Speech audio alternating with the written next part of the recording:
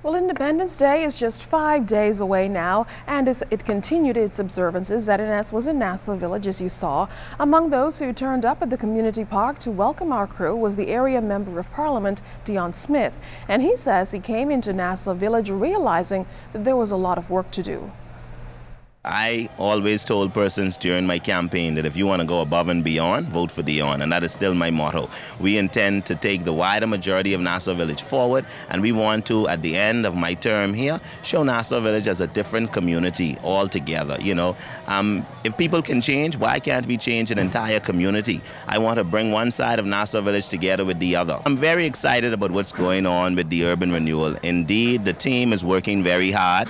Um, I don't know if you can see, but before you leave the area of Nassau Village, if you would look, there's a lot of areas that have been cleared down. We've cleared this down because as a part of our campaign, we spoke about how we understand persons may hide in bushy areas or hide illegal items in bushy areas. So we've been having that done. Also to the derelict vehicles, we've been having them removed. In addition to that, we've been trying to help some of the less fortunate that actually have um, structural damages to their homes, you know. So we've been trying to just uplift the people's spirit.